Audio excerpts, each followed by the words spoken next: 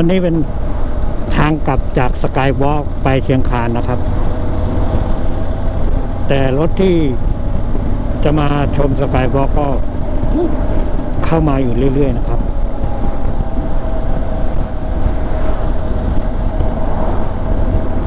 ถ้าท่านนักท่องเที่ยวที่มีเวลาน้อยนะครับ ไม่ควรมาช่วงปีใหม่นะครับ เพราะคนเยอะและรอคิวนานนะครับ คิวจะหลายชั่วโมงนะครับ กว่าจะได้ขึ้นนะครับ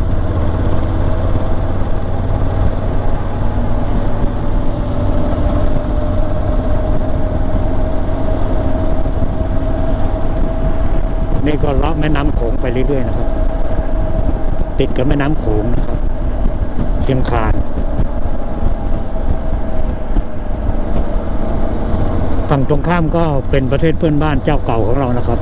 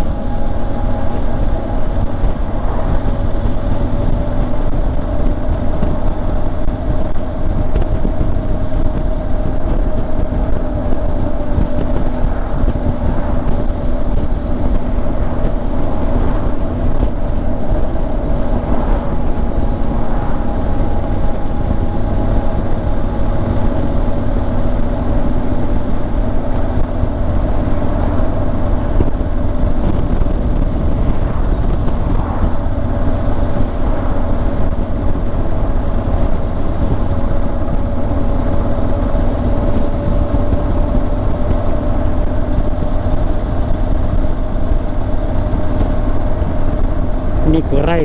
สตรอเบอรี่ ไร่หนองปลาเป่า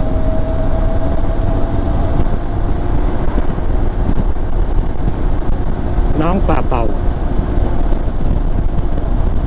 ถึงแล้ว ไร่เป่าเป่าอ๋อเป่าเป่าหาดแฮบ้านหาดแฮ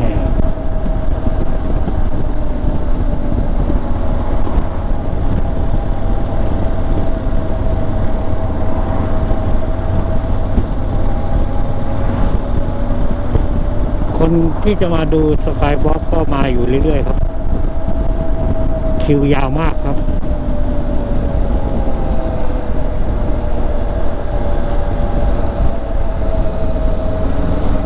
หาดบาง